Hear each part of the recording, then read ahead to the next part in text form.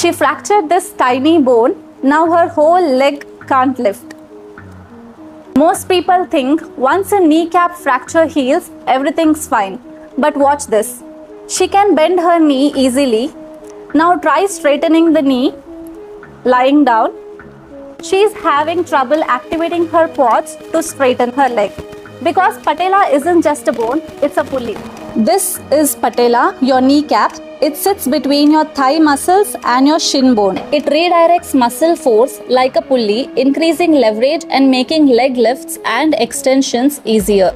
Think of your muscles pulling like this. Without this curve, the force goes flat and you struggle to lift or extend. The patella increases muscle efficiency by up to 33%. So even a small fracture can affect walking, climbing, kicking, everything.